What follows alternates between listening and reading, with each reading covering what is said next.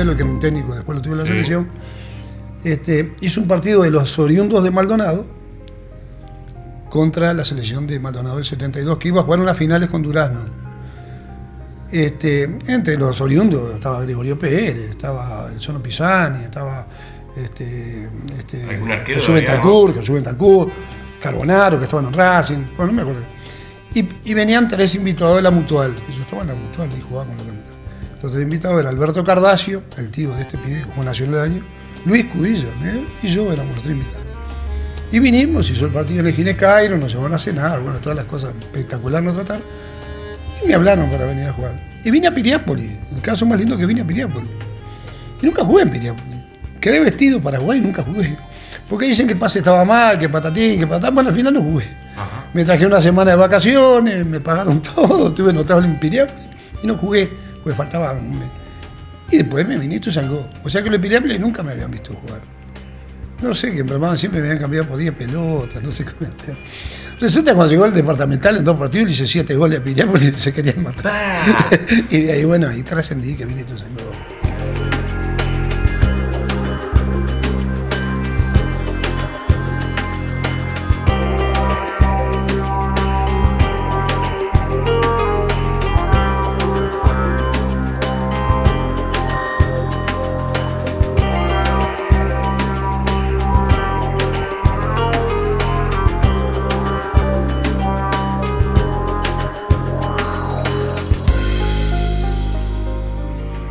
Te quedas en Maldonado y de ahí no te moviste nunca más. No, no me fui más, no me fui más. Empecé yendo a Montevideo, o sea, tenía un pase libre en los ómnibus y venía porque no conocía a nadie. Y después al tiempo, bueno, que estuve en Ituzaingó, estuve en una portería, enseguida me vine. Y de ahí sí, no me fui más. Este, ¿Cuántos años en Ituzaingó? estuve como 10, 11 años en Ituzaingó. Qué increíble. pas- pasaron cantidad de jugadores, Sí, pasaron. técnicos, dirigentes y- Tuve como 11, como 10, 11 años. Y me fui por cuestiones de, de esas cosas de loco, porque un técnico que a uno le gustaba, que me querían cambiar por esto, que me querían cambiar por lo otro. Y yo siempre, yo soy medio polémico. ¿eh? Yo siempre digo que no soy ni un espejo ni una figurita. Que no me cambien porque yo de- Claro. Uno medio grande, ¿no? Y bueno, y ahí fue, me fui a Punta Ballena, y bueno, estuve en Punta Ballena un año. Y después jugué como en 10 cuadros. Tuve la suerte que fui a la barra y salí campeón con la barra. Fui a San Martín, salí campeón con San Martín, ¿Jugaste en 10 equipos más, más o menos? por lo menos.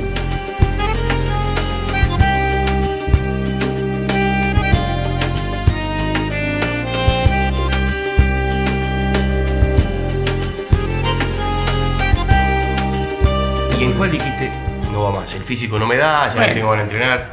Tenía 54 años en el Artigas Junior. 54 Y no pude salir campeón porque te voy a explicar, me pulsaron, faltaban cuatro partidos y me dieron cuatro partidos. Y vamos puedo primero. Sí. No puedo Eh, creer. eh. ¿Y Yo ¿Por qué terminas en Artigas Junior? yo ¿Porque tengo te fotos, gustó? yo tengo fotitos que de repente un día, capaz que la ven, ¿eh? Tengo fotos entrando a la cancha de Atlético, yo tenía 50 años, y entro con mi hijo de la mano y mi nieto de la mano. Qué bueno, Los dos con la camiseta de mascota. qué notable. Y Tenía 50, ¿eh? Sí, sí, sí, sí. Y te hago una anécdota. Sí. El primer, campeón, primer partido del casino en primera división fue contra Atlético en la cancha de Peñarol. Eran las 2 de la tarde y yo estaba trabajando de mozo en Punta del Este. Y no llegaba, y no llegaba. Y me hice un sándwich agarré el- y me fui de camisa y pantalón como estaba y entré a la cancha de Peñarol, que dirigía el Edema, este, que le dicen el campado, que Sí. conocemos. Y estaba con mi equipo y le digo, mira, no pude venir antes, dale, dale. Entré, entré atándome los zapatos y entré a la cancha y me terminé de vestir en la cancha. A los 7, 8 minutos hice el primer gol. Y jugaban jugadores de Rocha que, que de Rocha conoce. Eh, eh, jugaba Gómez, jugaba Miranda, el huevo Miranda de Baja, Sí, jugaba sí, los que habían venido. Una cosa tan rara que vos. Se me caían las lágrimas porque yo no entendía cómo. Claro. Cómo uno con la edad que tenía venía a trabajar, de estar todo el día metiendo pata de mozo, y, y llegaba y hacías un gol, esas cosas que, viste, que no, no. Son satisfacciones.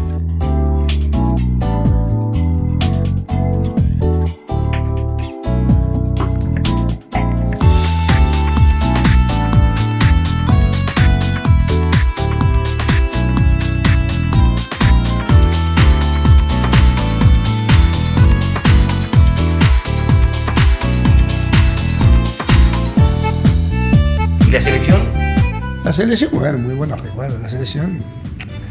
Si yo tuve eh, recuerdos muy gratos, solamente tengo uno que lo digo porque todo el mundo lo sabe, los que jugábamos, que nos quedó aquella final con Cerro Largo que la perdimos. Pero ese año jugamos dos finales del Este, que fue insólito. Yo después de ver las caravanas de Peñarol y Nacional en Montevideo cuando sean campeones del mundo, nunca vi una caravana tan grande como cuando a Maldonado le ganamos la segunda vez en Mina 33. Fue una cosa espectacular. Era toda la sierra eran autos. Nosotros salimos dos, seis y media más o menos de la noche llegamos cinco menos cuarto al centro, acá. Y era, parecía de día. Era impresionante. Nos seguían 6.000, 7.000 personas. ¿Qué, qué, qué época linda? No, era una cosa. Nosotros jugábamos contra Cerro Largo, primer final en Ginés Cairo. Y me acuerdo que estábamos tomando una merienda a las 7 y media de la tarde. en- ese día se hizo en el circo policial. Ya estaba lleno en Ginés Cairo. A las 8 de la noche. Jugamos a las 10. Qué final esa, recuerdo después la, la, la tercera en el Sobrero. Y ahí empezó que vino a transmitir Víctor Hugo Morán Sí, con. Polié, empezaron a televisar, vino entró a la radio, pues fue muy polémico. Fue polémico porque nosotros salimos campeones en Mina. Y se armó el lío dando la vuelta olímpica. Y nos hicieron jugar de nuevo el partido. Increíble. Entonces era tan increíble que toda la prensa acá y todos no querían que jugáramos. Y, y Miguel Ángel Colmerio hizo una reunión, bueno, tengo todos los testigos, los muchachos que hizo una reunión en el circo policial a ver qué hacíamos nosotros. Y, bueno, y todos hablamos, hablamos todos. Y bueno, la conclusión cuál era. Nosotros no teníamos que perder, ya habíamos ganado. Moralmente éramos los campeones. ¿Y por qué no le íbamos a ganar de nuevo? ¿Por qué? Yo fui uno de los que apoyé automáticamente, fui uno de los que dije. incluso. Sí, vamos a jugar. Sí, porque. Y bueno, y se dio, tuvimos esa suerte que. Esa fue, esa fue tal vez la que no logra el título, pero era, era, era el, el mejor equipo o no? Yo. Porque digo, no, no siempre el que gana es el mejor, no, ¿no? no, eh, no, después salió campeón de- del interior. Y salió- sí. sí, no. Yo no digo que sea el mejor. Que el que llevó más gente, estoy completamente seguro. Sí. Completamente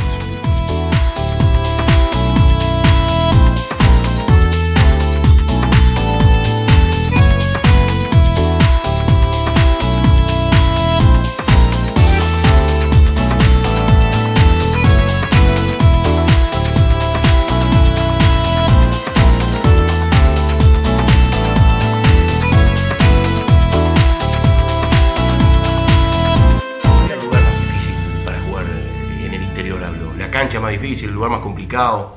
Tú hablabas recién de que los partidos de la B tenías que estar dos Sí. horas en Montevideo. ¿Y acá? Canelón era bravo. Porque Era Canelón bravo. en aquellas épocas, este, todos los que tenían problemas en Montevideo se iban a vivir a Canelón. Claro. Entonces cuando íbamos ahí, Rocha siempre fue bravo también. Pero no había los líos que hay ahora con Rocha. Nosotros jugábamos, y nos ganábamos, perdíamos, nos pegamos, no nos pegamos. No habían cámaras, te pegaban, no te pegaban. Había 33 era un equipo difícil. 33, 33 era difícil de ganar. Bueno, teníamos jugar todo el Sardo, Caraballo, con Rin Correa. ¿Qué selección? Tenían, yo qué sé, te digo, Sí, sí, así, eh, de los santos, eran, era bravo ganar, pero bueno, nosotros también teníamos un muy buen equipo. ¿Con quién conformabas o con quién te entendías de memoria en la selección? Bueno, terminamos jugando, que éramos casi 3-9, porque terminó jugando el patito, el pato Silva, Luis Aralegui, los tres de arriba. Pero antes jugó el Coco Tobía, el número 7, jugó el, el Bocaya Correa, digamos, yo qué sé, teníamos un, un equipazo. Si yo te cuento que en una selección habían 8 o 9 citados, en una preselección, los 8 de primera, Qué increíble, ¿no? y todo con nombre, no, no digo con un nombre, pero en el departamento eran gente de marcar, porque todos hacían goles, Sí, todo. sí. Y bueno, y Y después- esa es la diferencia de Maldonado con el resto. Sí. También había diferencia que los demás podían practicar y nosotros trabajábamos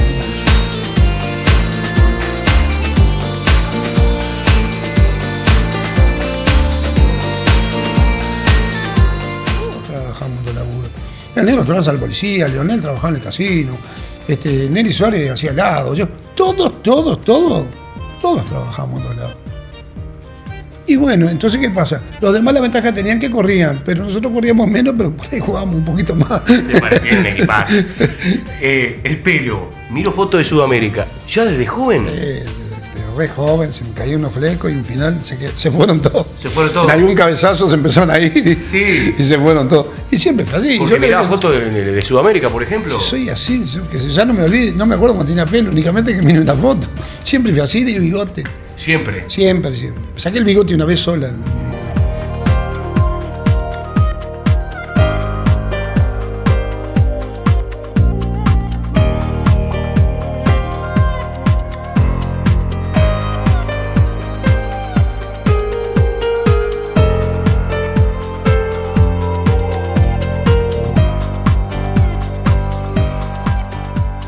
¿Te dejó amigos el fútbol? Sí, sí, sí. Sí, sí, tengo bastantes amigos. Bastante amigos, bastante conocidos. Ojo que no soy muy eh, de alabar gente, ni, ni cómo te voy a explicar. Algunos dirán capaz que no es conflictivo. Soy un tipo que digo las cosas, no me gusta eh, comérmela. Estaba en la liga, gracias a Dios, acá. Estaba el presidente, me han venido a buscar de nuevo. Estuve en el Baby Fútbol, me vinieron a buscar de nuevo. Soy, no soy el rey de los honestos, pero me gustan las cosas muy cristalinas, estando en una liga vos estás manejando cosas de otro. Y donde hay plata, hay plata de otro. Este año batí récord, estuve 15 minutos tesorero. Claro. En la B, me nombraste tesorero, estuve 15 minutos y renuncié. Porque no eran las cosas como debían ser. Y yo no estoy para que me juzguen. Y siempre digo y lo comento a todo el mundo, yo agarro la calle Sardivo, agarro la calle Ituzaingó, agarro... Camina no tengo que esconderme de nadie. Eso está bueno. Eso vale mucha plata. Gracias por venir, Sergio. ¿eh? No, gracias a ustedes y a las órdenes, muy amable y como siempre. Muchas gracias. Aquí estoy.